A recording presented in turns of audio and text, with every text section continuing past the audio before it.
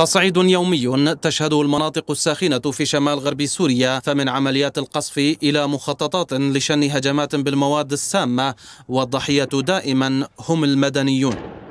آخر فصول هذا التصعيد هو قصف الاحتلال التركي وهيئة تحرير الشام الإرهابية الذراع السورية لتنظيم القاعدة.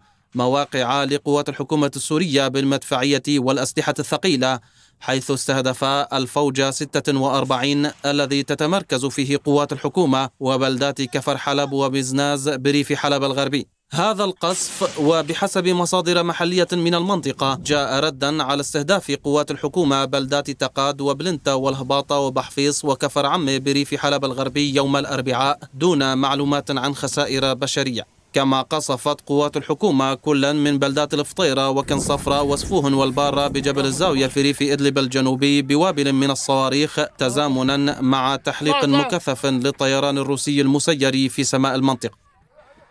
وعلى صعيد ذي صلة أعلنت قاعدة حميميم الروسية بريف اللاذقية أن هيئة تحرير الشام الإرهابية تستعد لاستخدام مواد سامة في مدينة إدلب شمال غرب سوريا. القاعدة الروسية ذكرت في بيان أنها تلقت معلومات تفيد بنقل عناصر من هيئة تحرير الشام الإرهابية حاوية مواد سامة إلى بلدة أطمة بريف إدلب دون توضيح نوع المواد. وحذر البيان من أنها تخطط لتدبير تمثيلية لهجوم كيميائي ضد المدنيين واتهام قوات الحكومة السورية بها.